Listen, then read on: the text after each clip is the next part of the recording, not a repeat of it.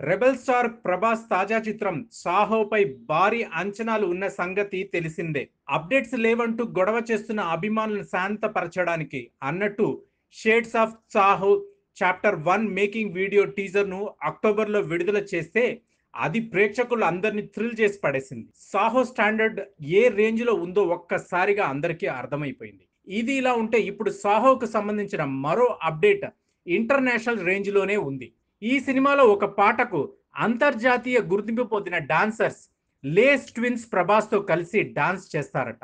Laurent Nicholas lorry Nicholas అనే పేరున్న ఈ కవలలు పలు ఇంటర్నేషనల్ మ్యూజిక్ ఆల్బమ్స్లో స్టెప్పులేశారు. బియాన్స్ మిస్సీ ఎలియట్ మేగన్ ట్రైలర్ లాంటి ఇంటర్నేషనల్ పాప్ సింగర్స్ మ్యూజిక్ వీడియోల్లో లేస్ సింగర్స్ డాన్స్ చేయడం విశేషం.